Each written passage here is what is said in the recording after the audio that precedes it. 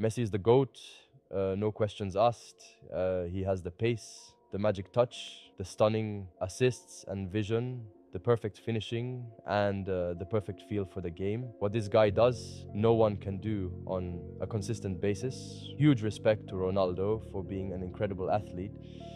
Um, and a fantastic uh, example of dedication. But man, Messi is a pure genius. Uh, you can train like a beast, uh, and you might reach some of Ronaldo's physical achievements, but you can train forever, and you'll never have the brilliance of Messi.